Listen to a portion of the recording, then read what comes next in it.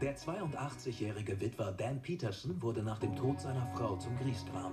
Die kleine Nora hat ihn mit ihrer herzlichen Art zurück ins Leben geholt, ihn als Ersatzoper adoptiert und in die Familie geholt.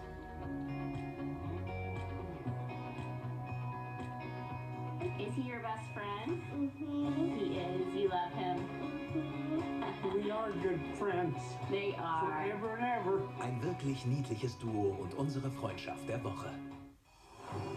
Wie romantisch. Hermann fragt gerade seine Freundin Raina, ob sie ihn heiraten will, doch die reagiert etwas seltsam.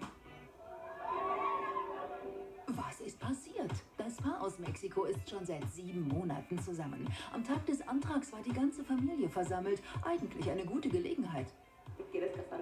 Also, ich habe eigentlich nur gehört, willst du mich?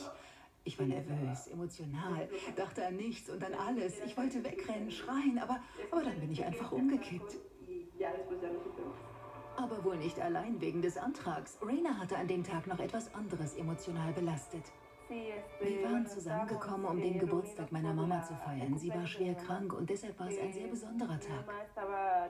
Die Sorgen um ihre Mama, der plötzliche Antrag, das war einfach zu viel. Doch zum Glück wurde der Sturz durch einen Fuß gebremst, sodass Raina unverletzt blieb. Im März 2018 soll in Mexiko geheiratet werden, dann aber hoffentlich ohne Zwischenfälle.